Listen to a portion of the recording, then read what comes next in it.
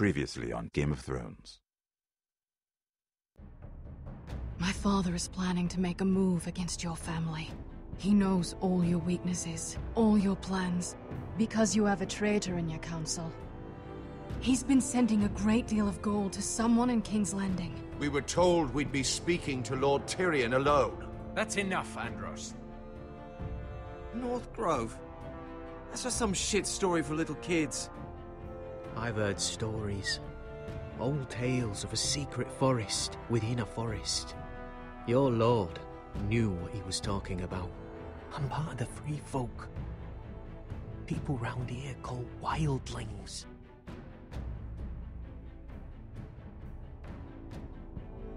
My true name is Sarah Flowers. You're a bastard? I hope I didn't make a mistake in trusting you. And if it isn't Elaena Glenmore, you're not still marrying into this wretched family. I'm sorry. I'm going to tell father the betrothal is off. It's a long journey to Mar Meereen on foot. Meereen? Shit. What? Unfinished business there. I don't want to talk about it. If you presume to speak of my dragons, you best choose your words carefully.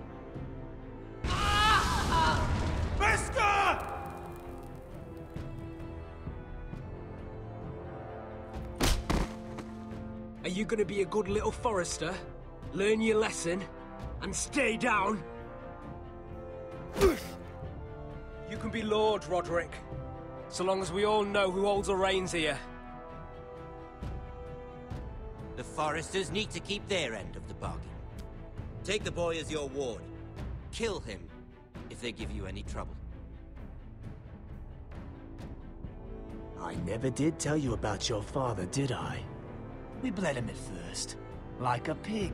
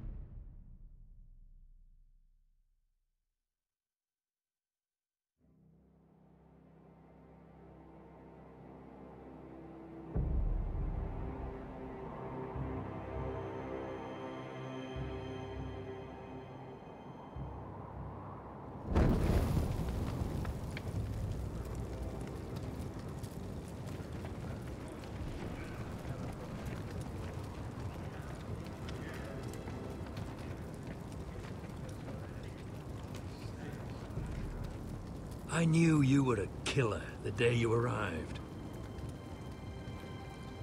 Seems Britt found out too. Now they all see it. I'm afraid you've got the wrong man. I was further along the wall Don't the... you stand there and fucking lie to me, boy.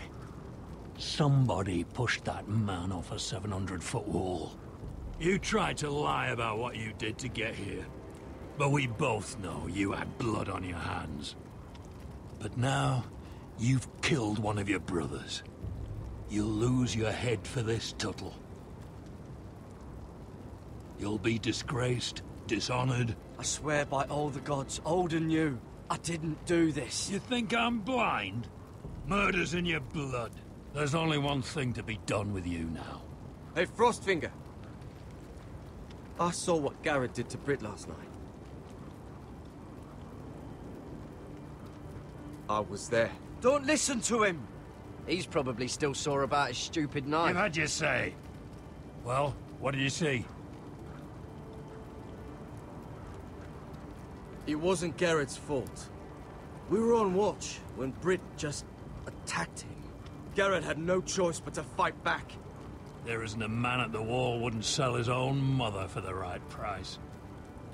You two are up to something. Some deal you worked out. No, we're not. He's telling the truth. You can't fault a man for defending himself. Garrett killed a man of the watch. There's a price to be paid for that. Let's go. I knew it was a mistake to make you a ranger. Frostfinger. What's to be done with him? We're heading to Craster's. You'll have to find someone else for your expedition. Your man here still has a lot to answer for. Now out of the way, Snow. Give us a moment. Then kiss him quick and be done with it. Garrett. I know you hated Britt, but this... What happened? I thought you were smarter than that, Garrett. I know I did the right thing. That's all that matters. Well, I hope it brings you peace, Garrett. But now you'll have to face the consequences. But Jon... I'm sorry, Garrett. There's nothing more I can do. We're down a man, so keep your eyes open. Now let's move.